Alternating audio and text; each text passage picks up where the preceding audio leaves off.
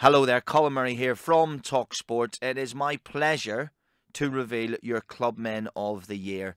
These two players not only bribed me to win this award, but they epitomise uh, what being part of St Margaret's Old Boys is all about.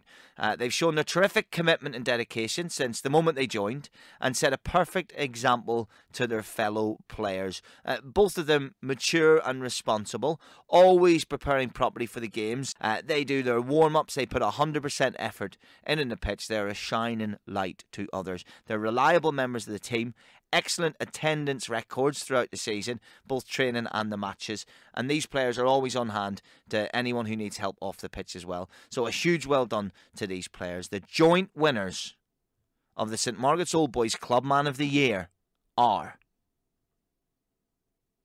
Adam Hurst and Tom Garden.